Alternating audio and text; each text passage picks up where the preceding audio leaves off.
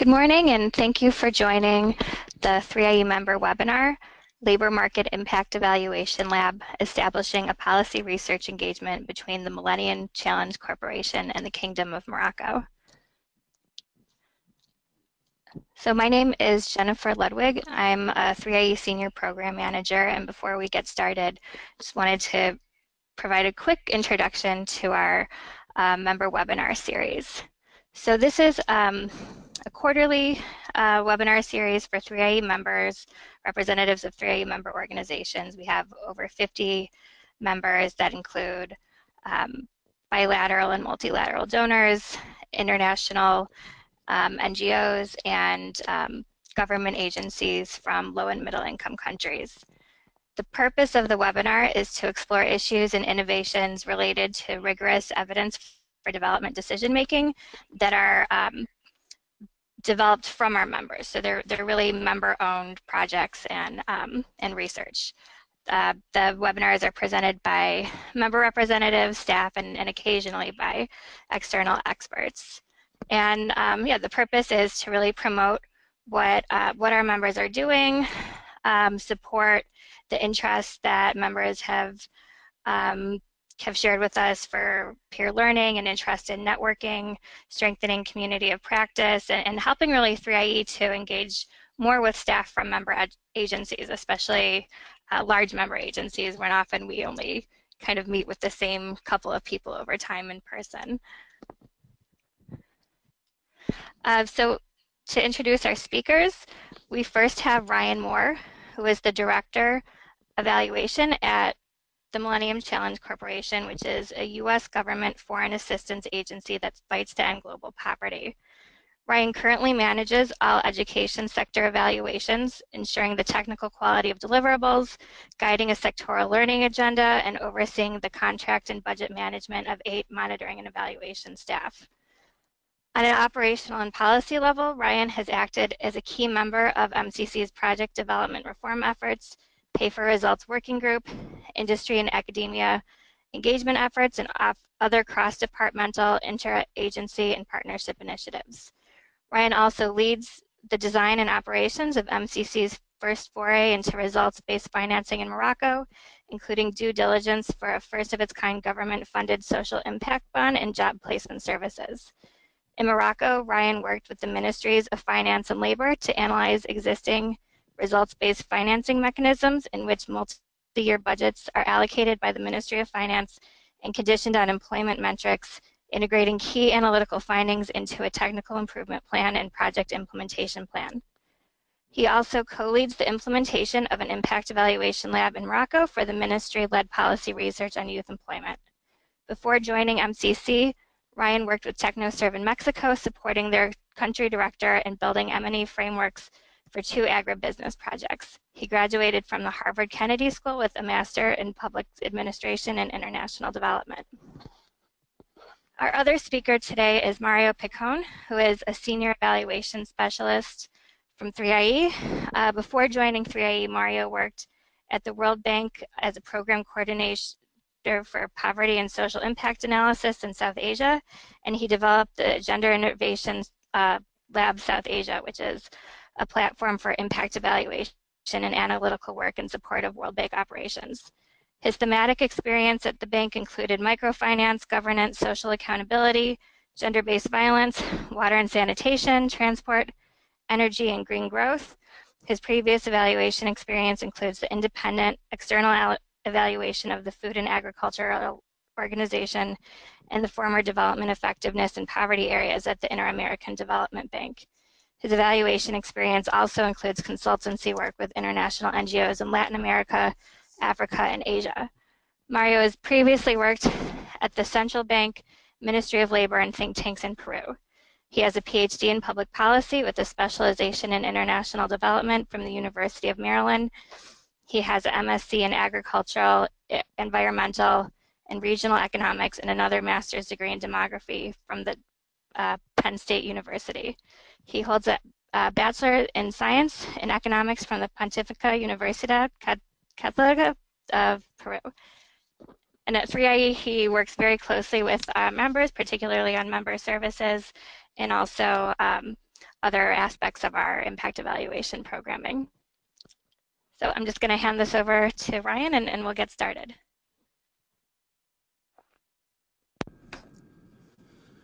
All right, great. Um, let's see if my uh, testing, testing, hoping uh, folks can hear me.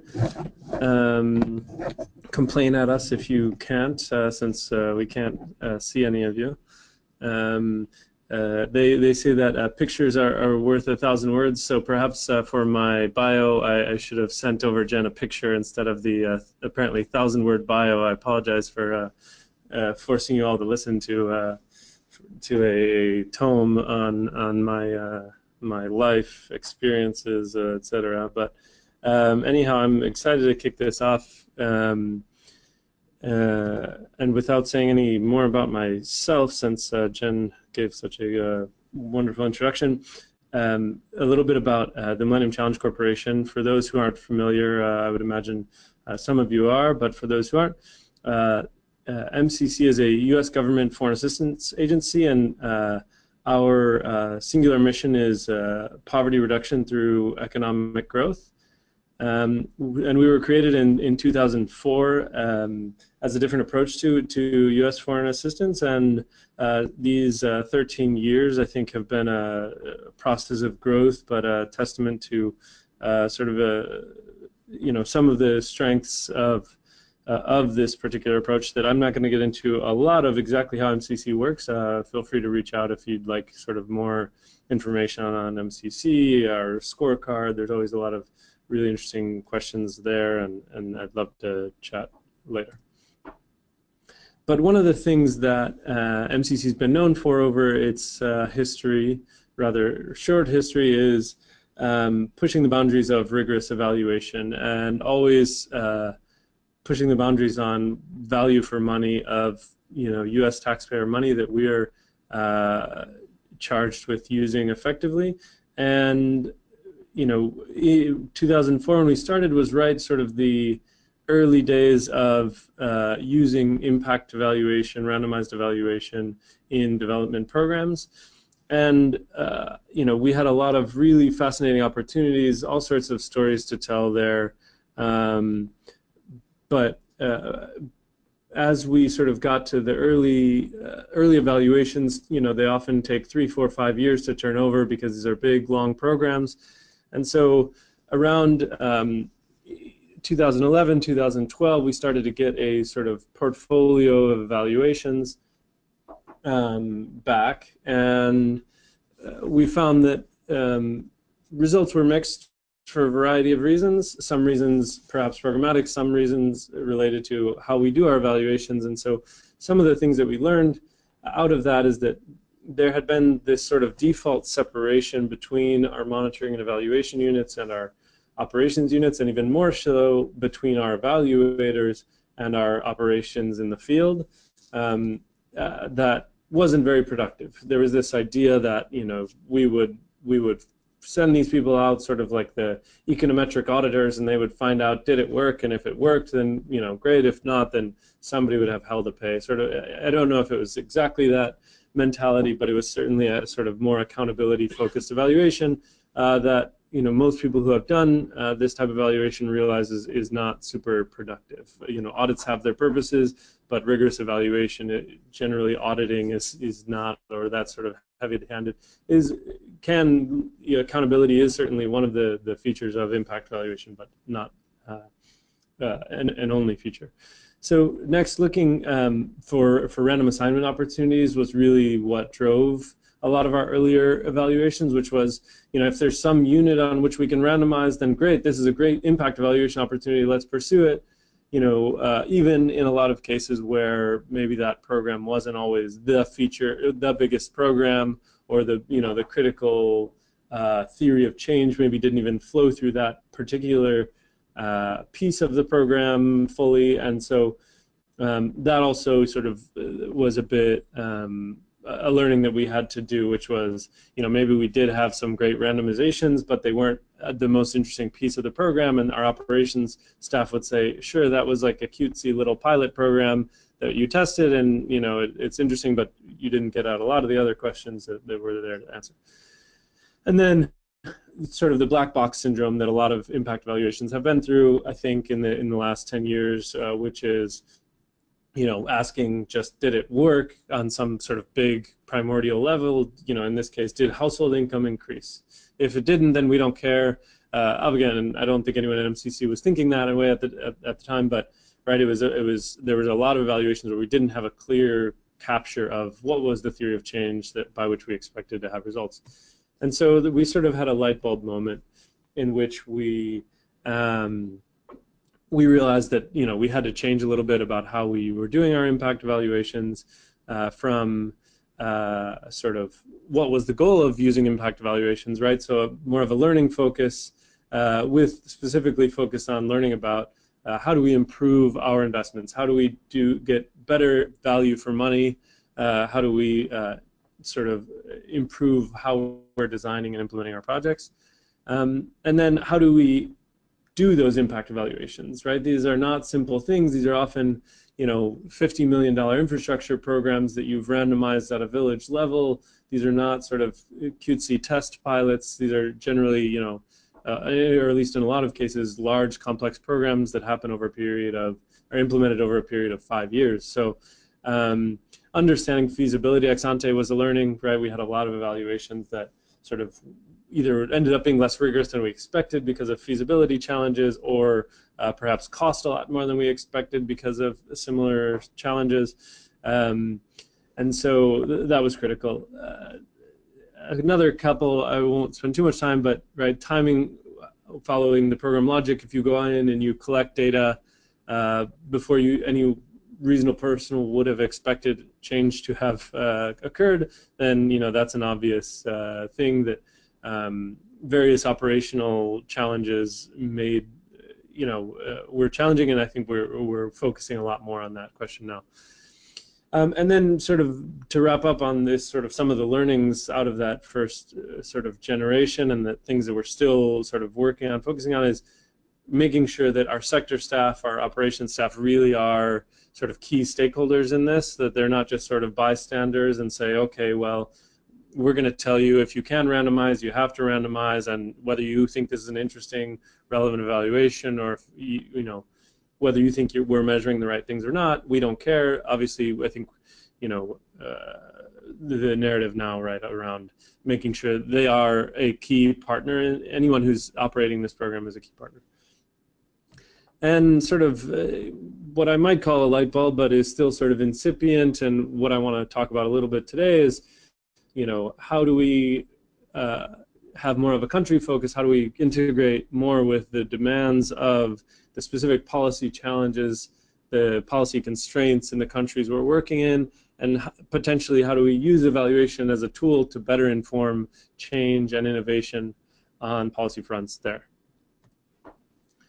Um, so um, just a real quick, you know, uh, anyone who's worked in Morocco or knows much about Morocco knows that uh, labor market constraints are, are a massive constraint.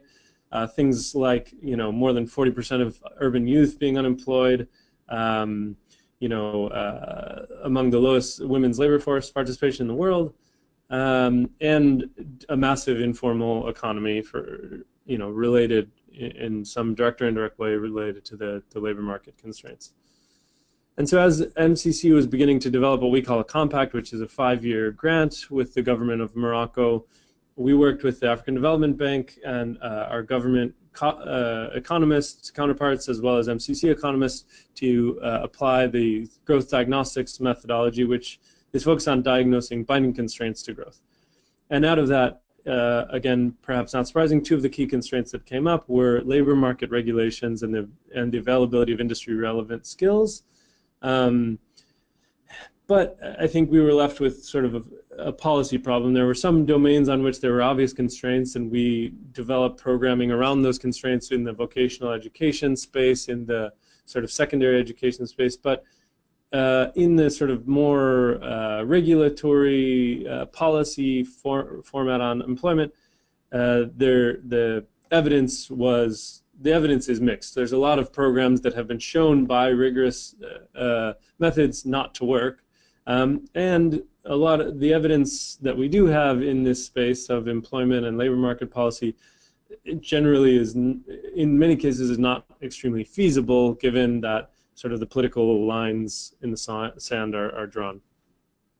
So sort of as we thought about, okay, you've got, you know, labor markets have sort of three fundamental components, you know, systems which uh, demand skills, uh, you know, uh, systems uh, which produce skills, as, and then sort of uh, functions uh, or systems which link the two.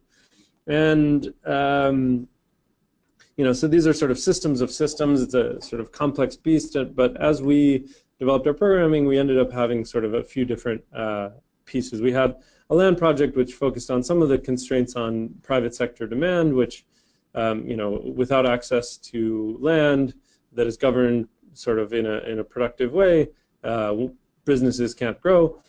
Uh, on the supply side, right, our employability projects focus on secondary and vocational, as I mentioned. But then on the labor market efficiency side, we were sort of, this is where that puzzle comes up of what exactly is evidence of what can one do and um, so as we sort of at some point began exploring um, with our uh, counterparts in the government of Morocco, we sort of looked at uh, through sort of one thing, long story, but ended up diving into sort of policy um, programming. And um, you know, policy programming in, in this sort of with the Ministry of Labor and saw that, you know, evaluation was an interesting uh, piece where there was growth but still some major constraints. So without going into too much detail on this slide, right, there's been progress from, you know, even as few as, you know, 10, uh, 10 12 years ago, having simply not a terribly structured framework on how um, how the these types of programs were evaluated or thought of in terms of sort of rigorous uh, evaluation and monitoring and development over time. I, I, won't go into it too much, but to the point where we now have, you know, I think a place. We're, we're at a good place in which the Ministry of Labor is thinking about, okay, how do we evaluate our programs? How do we make sure that we're feeding uh, evidence back into how we make policy? Um, and some of the challenges that, that in fact, our, our government counterparts parts have identified um, are, you know, um, right, that there's not a lot of emphasis on, on the questions of impact evaluation or sort of causal attribution. What did this policy do, not just sort of what changed in the environment over time. Um, uh, not a lot of culture of thinking about these questions uh, of, of, of causal attribution um, gaps in, in data systems regarding employment um, issues, employment policy, um, um et cetera, et cetera. So we, have got and some some capacity constraints as well in terms of how does one try to improve these policies through evidence. Um, and so, you know, the, the top line that we started thinking, right, is that there, there's progress being made, but at the same time, um, there are still major, major gaps. That the you know labor market policy and programs are are still a sort of structural constraint to growth in Morocco, and so there's need to sort of think outside the box. While the programs that exist, some of them are innovative, some of them are interesting. You know, uh, there's sort of an affluence of lots of different mechanisms, and, and there's there's uh, room to one still continue to test new solutions, and I think um, our, our, colleagues uh, and our champions have been committed to this idea of that there are new things out there that can be tested that haven't uh, been tested, and then right there's often this also this question of uh, sort of the political economy of evidence, which is uh, lending credibility to promising uh, solutions, or I put an asterisk there, and you know in some cases one of the best things that evidence can do is point to programs that may not be as effective as, as we would hope. Right, and impact evaluations, this question of looking at uh, what does it, what would have happened without a program and what actually happened when we implemented a program. That question of impact evaluation can uh, help us answer a number of critical questions that could feed back into how policy is made. And so uh, in the process of developing what uh, the the whole uh, compact, the agreement with the Moroccan government is a 450 million dollar agreement um, over between the years of 2017 and 2022 will be implemented. Um, we agreed to include an initiative to try and push the boundaries and sort of strengthen the capacity within uh, the Ministry of Labor um, uh, and other pertinent entities um, around employment policy impact evaluation. And so, sort of the first step we realized is, you know, if you want to bring credible evaluation, you need credible evaluators and you need the right skill sets. So I think we, from the beginning, knew bringing in a research partner that could bring that sort of rigor and credibility uh, to to this initiative would sort of separate it as not a sort of pure pure political move or some form of you know giving answers to you know uh, giving answers to policymakers of what they actually wanted to hear in the first place, but actually bringing some sort of uh, academic and research credibility. Um, and then the, the idea of jointly defined research agenda being important, that this is not a, we certainly don't uh, look for a purely academic endeavor which answers purely theoretical questions which are fascinating to uh, researchers on the boundaries of what evidence exists, but you know, sort of rooted in the local realities and challenges. Uh, uh so jointly defining that research agenda, we think can uh, empower that uh, sort of balance between the power of sort of local policy, but also the the rigor of, of international research. Right, and that, then that we would actually, in addition, not just sort of building capacities or changing policies or whatnot, but actually that we would actually learn. Hope that we can. We hope that we can learn by doing, in the sense that actually bring together new research projects, whether they be let's get the data together to do rigorous evaluation of policies that exist, or let's test out new things uh, that we think might uh, have positive impacts and rigorously test those. So I'm getting close to 20 minutes in, I think, uh, but I'm I think I'm doing okay. Um, so um, what we're sort of roughly calling the labor market impact evaluation initiative, uh, we've been tossing around the term impact, uh, the labor market impact evaluation lab, but uh, uh the, the title at this point uh, doesn't matter as much, except for the, the fact that you know uh, we um, are planning to finance up to, to $5 million uh, through this initiative um, to do rigorous impact evaluations and to, to, be clear, in this space of labor market policies and programs, you know, there are so many complexities that often RCTs are not sort of the only and the critical uh, path uh, research method. So uh, while impact evaluations are obviously uh, sort of the a priority and something that we think uh, can lend that extra credibility uh, is not our only uh, tool. Um, and then sort of broadly bringing together the, the policymakers and the researchers uh, to actually bring together interesting studies that do answer locally uh, sourced questions.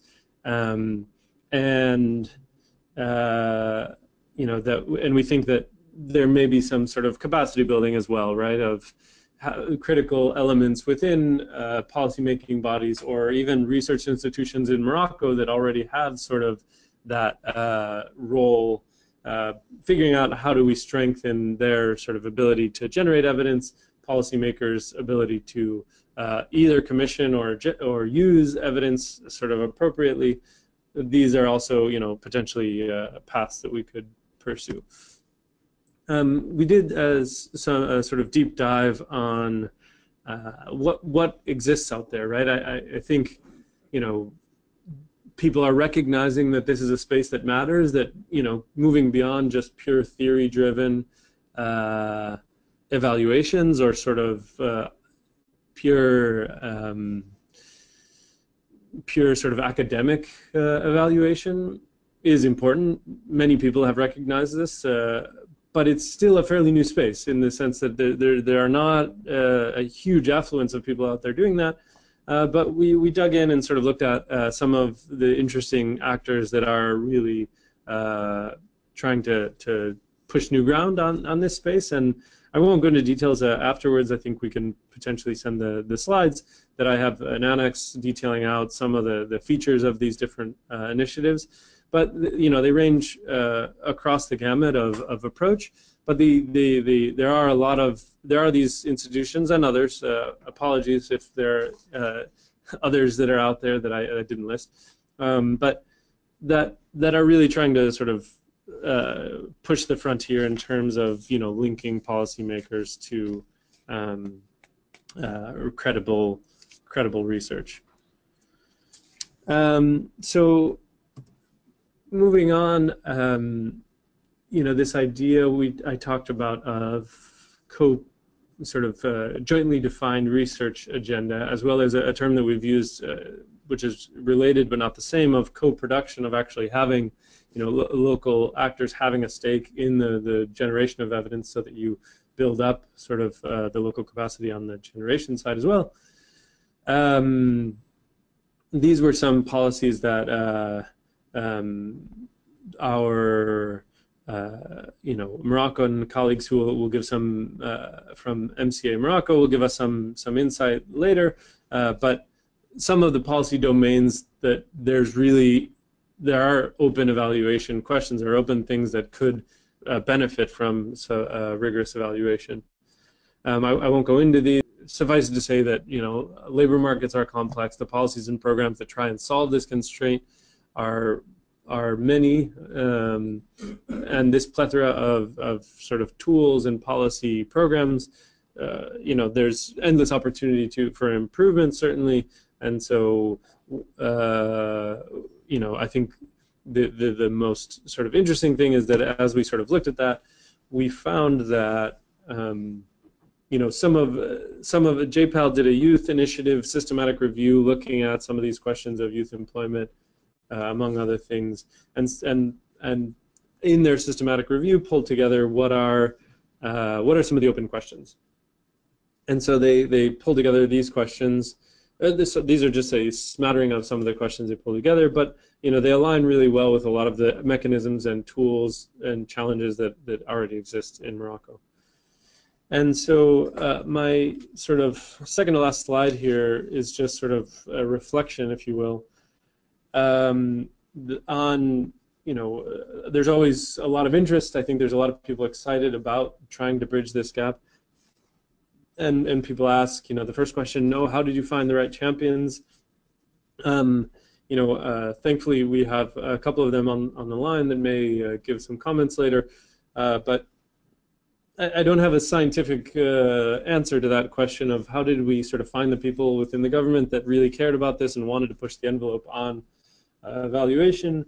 But uh, suffice it to say that you know having conversations with finding the people who are motivated, have sort of uh, a vision and, and adapting our vision uh, to, to that vision it was really critical in, in sort of hearing um, what is it, what are the problems that, that they perceive and that they've seen in their work in the government and how can we sort of uh, be a sort of a force uh, for change and, and make an investment uh, that could potentially have some, some good impacts.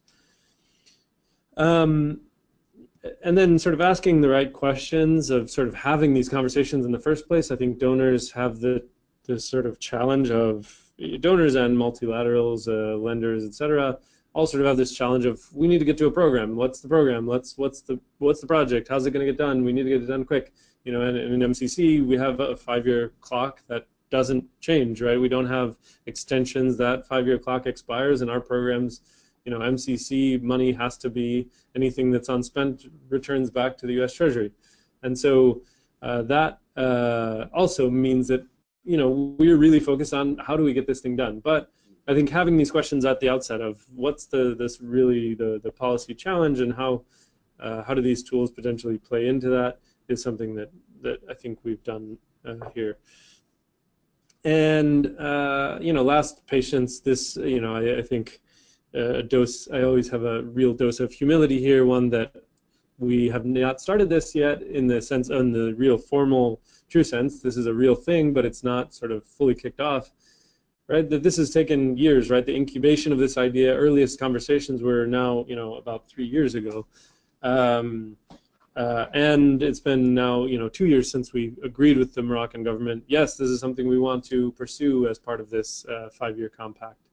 Um, right, and next year we hope to actually really uh, start our engines, get things rolling. So, you know, patience, recognizing that sort of, uh, what's the saying, Rome wasn't built in a day. You know, we're we're we're you know trying to little by little get this thing rolling and, and excited about it. Um, and I already mentioned a little bit, pursue areas where interests align until something clicks. I think, you know, we had different iterations of this idea, different uh, sort of uh, places we explored what the constraints were, and this seemed like a place that really fit everyone's, you know, fit the evidence as well as fit uh, the different sort of interests.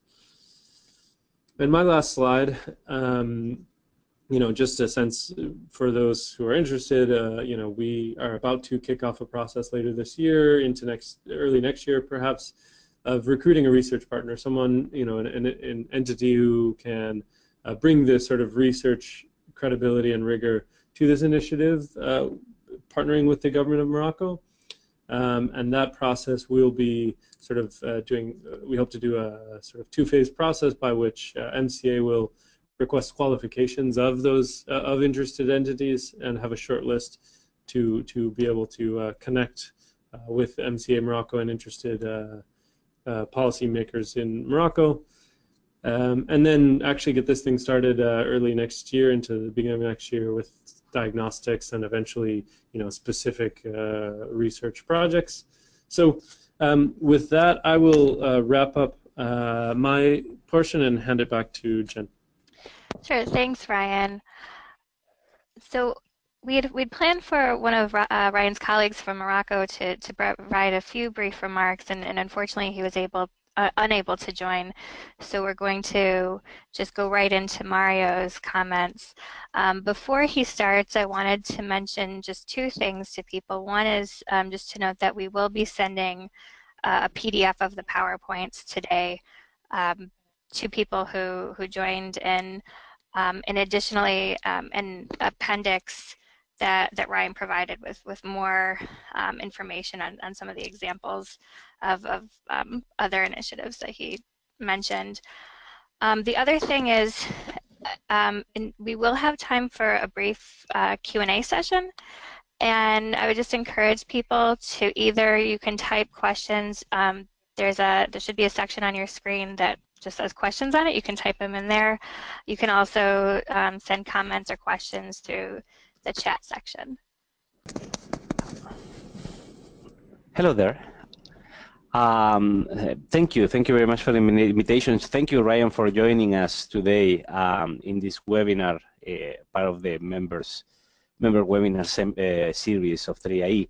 Um, I'm just gonna I'm just gonna provide a few remarks uh, around the presentation that Ryan just did. Um, we at 3IE are very happy to uh, to have been involved uh, the, in the conversation around this research initiative in Morocco. Um, Ryan and I precisely met discussing this some time ago. Um, and for example, how 3IE approaches the whole discussion about working with a particular country through country policy windows, uh, which is one of our facilities. Um, so just uh, let me just give you a few remarks around uh, what Ryan has shared with everybody. Um, from a different point of view, maybe from the from the particular uh, challenge and advantages of thinking of an, an initiative like this not only as a research facility with $5 million for research, but as an opportunity for institutionalizing evidence in Morocco. Um, uh, just, I just have three basic slides here. Um, I, always, I always say that uh, an initiative like this is one of those opportunities in which you can really give evidence a chance. Um, and and here's the thing, um, many many of you even, uh, and, and, many people out there know 3IE for the work that we do through our grant windows funding impact evaluations, but there's a lot of, of other things that go behind, right? Um, eh, it's not only about funding the research itself, but it's also about creating that local capacity to be able to, um, or support that local capacity to be able to use that evidence and translate it into policy. Um, so that that additional element that I'm going to be talking about, this uh, uh, helping build an ecosystem is key, especially when you think in, uh, in terms of sustainability. So um, the way I see this is, is, is, is one piece or one way to translate, to reflect what are those alternative models uh, generating alternative incentives um, for rigorous, uh, rigorous research to be done at a country level um, with support of external partners, of course, but also creating certain capacity um, and the conditions for that uh, research to be useful for policy and applicable to policy, right? Um, and I see all those different elements in what Ryan has shared here today. So let me tell you a little bit about that. Um, typically, when we think about uh, creating or generating or building an institutional uh, setting in a given country um, for rigorous research to be produced and used, we think in terms of either accountability of the funds use, right? That's very, very common, of course. Um, but more and more, it's like there's, is, there's this discussion about how do you really improve policy? Um, because as Ryan said, it's like it could be that your impact evaluation provides um, no effects, right? It, it, it, ends up concluding that there were no effects or that uh, maybe the effects were even negative. Um, the key thing is that the impact evaluation should aim at providing additional information that can tell you why or how is it that this worked out. Because what you want is elements for correction too. Um, there are certain policies that you can immediately phase out because it's pretty obvious that they are not working, right? And what this rigorous evidence is going to give you is like a strong reason to just cut it down, phase it out, etc. But at the same time, there are other programs that on a very core, uh, in the very core form, they have a theory of change that makes sense, right? It makes sense that we should be doing this. Why is it not working? And the key question is like, how can we do it better? This also makes and changes the dynamic of how rigorous evidence is produced and how it is used. And this is how it should be, really. Um, the accountability reason is still important and will be there and will be very important for what uh, what is being done with public uh, funds, uh, being the government of Morocco and their own funds, or being MCC as a donor, right, and accounting for the use of those resources to the American people. So, um, uh, so it's like what I see here is like there's this opportunity precisely to shift a little bit the discussion internally at the country level um, on how do we improve policy so it is more effective too, um, as a as a as a core objective that can live at the same time uh, with the accountability reason. Um, now, we have seen different models of how to stimulate the demand side of evidence out there. Um, sometimes uh, we can be talking or, or, or see uh, uh entire government level institutions, right? Um, like in the case of Latin America, you have Sinergia, you have Coneval, um, that, uh, that are able actually to uh, to stimulate doing evaluation of government programs, um, and they actually share indicators and results through, of them, and they are able to monitor what is the progress of certain indicators, like in the case of Coneval and poverty, food security, etc. In other cases, other ways to institutionalize um, a, a, a, the, the, the use of rigorous evidence and the generation of rigorous evidence in a, in a country have to do with these councils of researchers and policymakers, right? And engaging that local pool of, of, of researchers that know um, uh, know the particular situation and context of the country. there are other institutional solutions that are more like internal facilities. Within a particular government agency, you stimulate the discussion about what are the problems that we're facing, right, in this particular sector, um, and how are we going to be able to pilot or um, scale up, depending on what stage you are at, um, particular policy solutions, and how are we going to evaluate them um, along the way. For example, in Peru, the, the Minedu Lab, for example, for, for education. And that is actually where I'm starting to put at this point the Morocco initiative, even though um, it also has those elements of generating councils or engaging local researchers uh, as, um, as uh, engaging the research community with the policy community, um, as Ryan was saying. Um, so so uh, building these internal research facilities, and I'm just uh, I'm just uh, speaking in a very generic sense, has several advantages. First is the focus, right, in a particular topic, in the problems that the sector is facing, etc.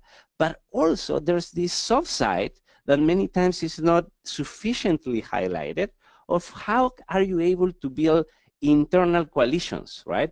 Uh, Ryan was talking about champions, but the champions are actually not easy to identify sometimes. And sometimes maybe more uh, in the introvert side, right? Um, within a particular government agency. You, of course, identify the big minister that is interested or the vice minister that is interested in, in promoting um, a, a evidence-informed policy, but uh, but like there may be other people in the different units of a given ministry that are interested also in doing this, but don't necessarily ha have a way to do it. So what you offer here is a space in which there may be an internal conversation, right, about the challenges that we face.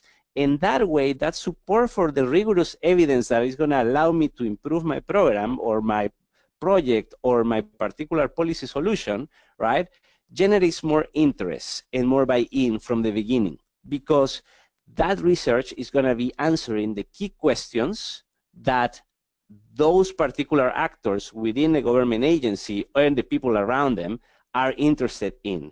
And the research is not being aimed uh, at, at, at, at, a very uh, strong academic research, which is good, it's important, right? But it's like we want to be sure that the questions that are being answered um, are actually useful uh, in terms of policy. So let me go with the last slide there, um, just to wrap up here.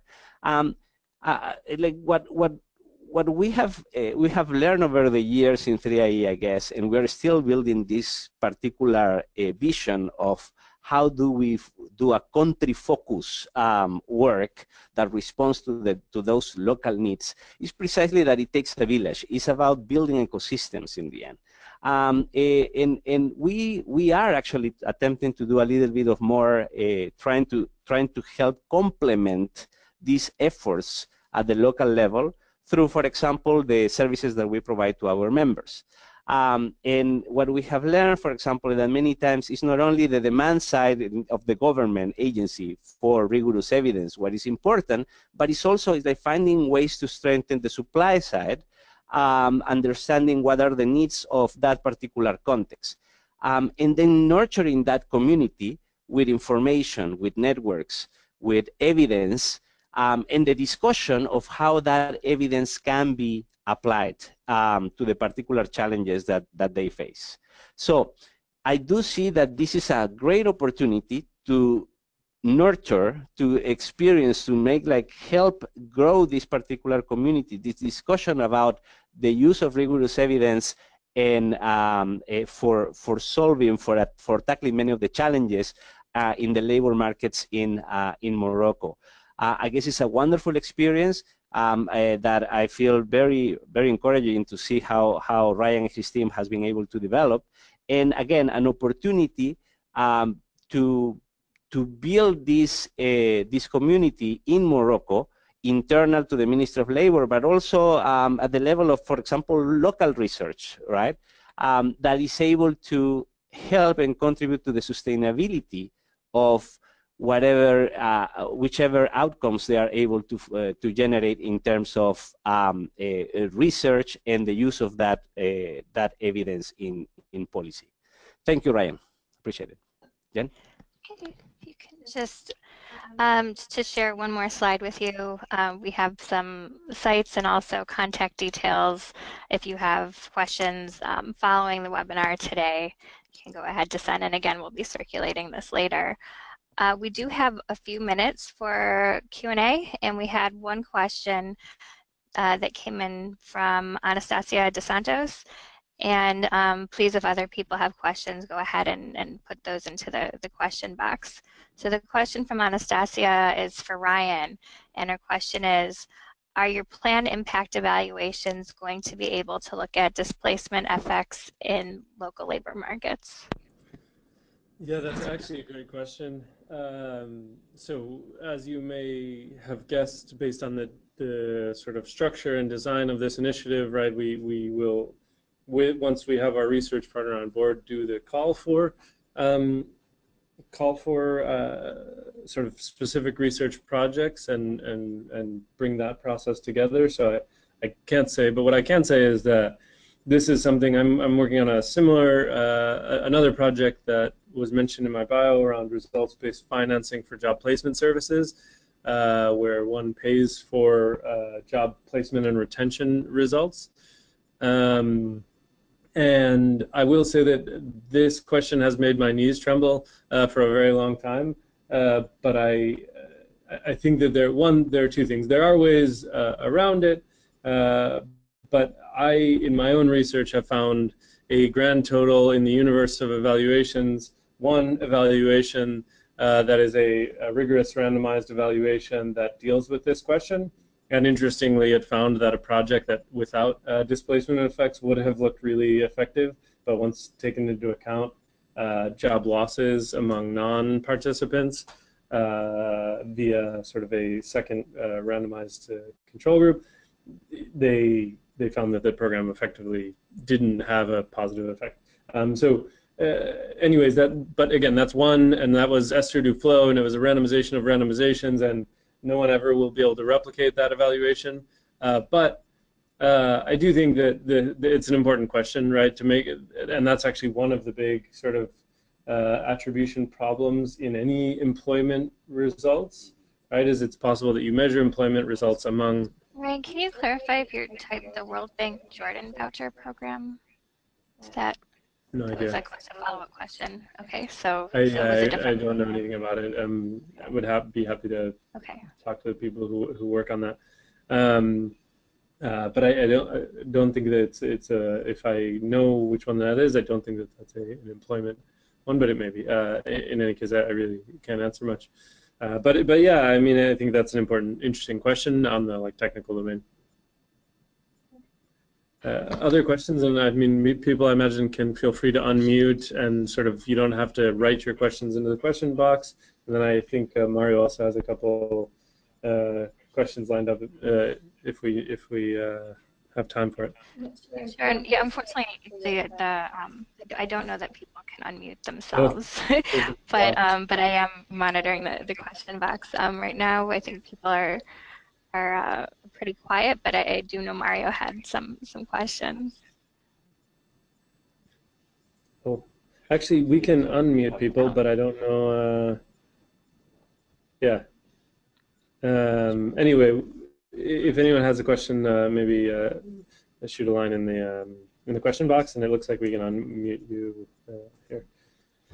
Um, I- I guess I can just ask the question. They will, they will hear me um, right now. Um, eh, yeah, Ryan. Actually, I, my question was more on the side of the details, uh, right, of the processes and all. Uh, and I understand. I mean, like maybe uh, it's still not figured out, or maybe you have like a couple of ideas of how this is going to work in practice, right? Um, how is the engagement with within the the um, the Minister of Labor? Is uh, is is it like a, a particular office that is going to be uh, uh, built? sorry. resolve with original uh, Um, Oh, we have, we, we have somebody. Yeah, go ahead. you, but you're good now. I guess somebody is is. Oh, uh, maybe I don't know. Is there anyone asking a question? No. Anyway, um, sorry. Continue. I Yes, I, I heard uh, somebody's voice. So, so sorry about that. So I was wondering about the how it how it's going to work in practice in terms of what is the setting at the Ministry of Labor. Um, an office is that office going to communicate only with the research partner? Is it going to be like a discussion within the ministry uh, in that sense? Um, and in terms of um, the five million dollars, right? For example, for the fund, uh, is there an idea of like how much of that is uh, be, gonna be dedicated to let's say pure research versus like this building this partnership that you were talking about um, or for example other uh, other, ex- other expenses in country that are related um, and what kind of topics are going to be included there that's it Yeah. Um, so I, I think um, there's some exciting uh, opportunities on that front. I, you know, and that's some of the stuff we've been working on over the last uh, year is is exactly that. But I I must say, uh, so one sort of key partner that we expect to drive this is the the National Labor Market Observatory, which is an entity which sits within the Ministry of Labor, and uh, you know drives one of their mandates is um, uh, labor market uh, data and information systems on some fronts, but also evaluation of, of uh, uh employment and labor market policies. So uh, we certainly think that they uh, would be an interesting.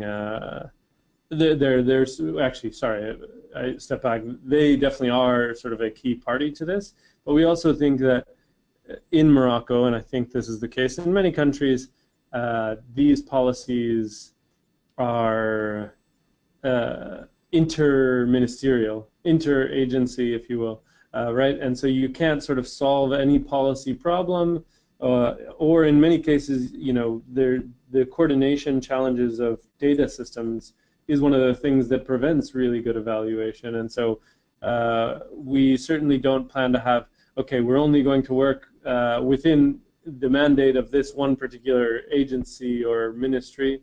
Uh, uh, but but yeah, we have got some stuff that I would uh, hope to be able to share a little bit more about uh, later on down the road of exactly how that might work out. But we certainly plan to bring in uh, policymakers and have projects that sort of either span different entities or are sort of housed at or or or focused on different these different entities because it's really it's a complex environment in which there are a lot of different actors trying to sort of uh, you know improve the labor market. Um, and then I think your your second question, if I uh, understood it, was actually remind me just to make sure I'm. I feel like you had sort of a second piece of your question that I. I'm not sure if I answered. No, I mean I guess that you you get to it. Um, I was more thinking on that precisely on how how that um, how that setup was going to be. And actually, I was very interested in seeing if there was going to be some sort of coordination and discussion with other yeah. ministries because the topic in the end um, is a is a is a very important con- uh, uh, country countrywide. And I was I was speaking before about the importance of the coordination within the agency, right? But as important as that is also to involve others that we may be working in other government agencies in the country um, towards the same objectives, the same yeah. goals. Yeah. No, I, I think one of the we, we without going too uh, deep down this path, I think one of the approaches uh, is having one of the approaches that we've seen in other initiatives uh, that we we may very likely end up modeling, but it hasn't been sort of written into stone yet. Is the idea of having a sort of a technical um, sort of academic or sci- probably a scientific committee, you might call it, that looks at actual research projects and, and, evaluates, okay, are these credible research designs? Are these credible evaluations that we expect to, to lead to, uh, you know, policy re- relevant evidence? Uh, and then a secondary committee, which is sort of the one who sets the agenda of these are the things that we think are important, and this is how we hope to get to uh, policy relevant uh, questions are, uh, uh, that are being asked and hopefully you know answers that will be actionable. So uh, that model I've seen uh, elsewhere, uh, but but that's not yet necessarily sort of structurally what we're planning, but it's you know one option. Um, no, great, right. Uh, Jen, do we have other questions right now or not yet? Um, no, we, we don't have other questions. We we have a couple of minutes left if if anyone wants to send a brief question.